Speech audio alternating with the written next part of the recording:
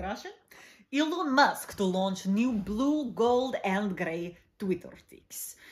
Elon Musk has said Twitter verification will return next week with color coded categories for individuals, governments, accounts, and companies. Okay, French.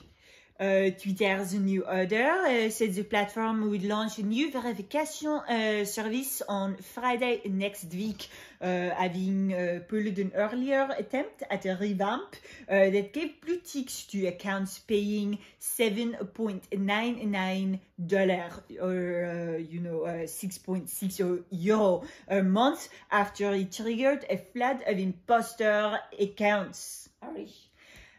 Irish. Oh, nee, ek is so goed in Irish nie. Um, hoe klink Irish?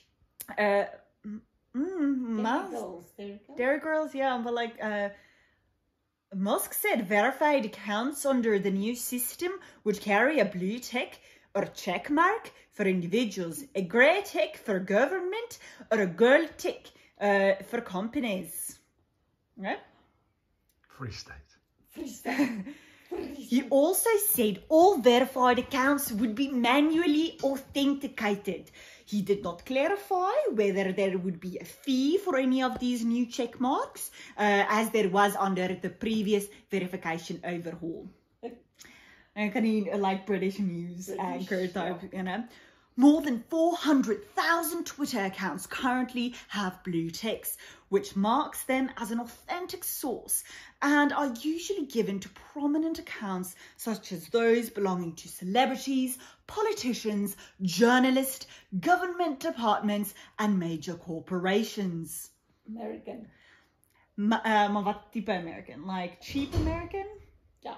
Uh, Musk said the new blue tick would be for all individuals, celebrity or not. And that individuals could have a secondary tiny logo verifying that they belong to an organization if that organization verified them. He said he would provide a more detailed explanation next week. American anchor.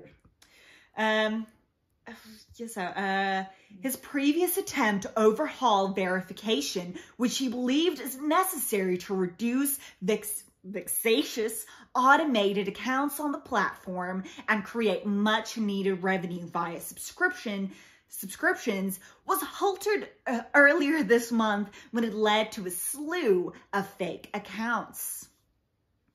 Indian. Mm, a relaunch earlier this month on the platform during the Nee. Ja! Volgende. Ja!